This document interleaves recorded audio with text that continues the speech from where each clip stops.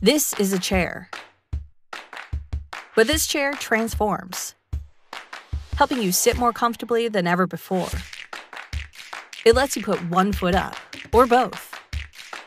It helps you take a break, chill out, and lounge. Wow, that looks comfy. Wow, this is comfy. I just said that. And now the backrest is also a seat or table. What? Yeah, for real. How about some Zen? Yeah, this is awesome. Hey, less talking, more meditating. And it does this. Yeah, you can sit on it backwards. So now we're sitting on chairs backwards and working comfortably. Just wow.